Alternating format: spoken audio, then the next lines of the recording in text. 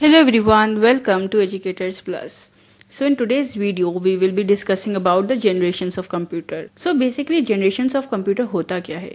देखिए जो हिस्ट्री होती है ऑफ़ द डेवलपमेंट की जो भी ईच जनरेशन होती है कंप्यूटर की उसको कैरेक्टराइज किया जाता है by a major technological development जिसने फंडामेंटली चेंज कर दिया है how computers operate right the way computers operate so it has resulted in increasingly smaller cheaper more powerful and efficient and reliable devices. So basically जो term है generation उसे refer किया जाता है to the time period during which जो भी computer develop किया गया है।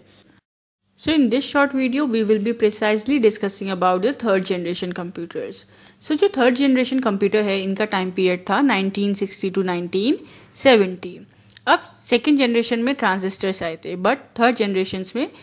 ट्रांजिस्टर्स को रिप्लेस कर दिया गया था by integrated circuits apart from that uh, they use magnetic core as primary storage medium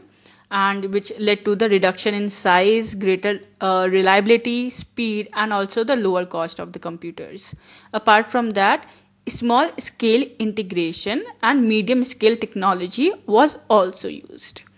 uh, further, uh, third generation computers may there was use of magnetic core as primary storage medium that I have already told you, but also it was uh, you know more flexible input output system that uh, was there in the third generation computers. Apart from that, increased uh, speed and also better performance. Uh, extensive use of high level programming languages such as BASIC and Pascal apart from that अगर इनके examples की बात करी जाए तो third generation computers के example हो जाएँगे P D P eight I C L two nine zero zero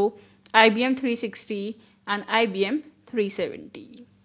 so yes this was all for today's video I hope you find this video helpful then please do like share and comment and stay you own for the more upcoming videos thank you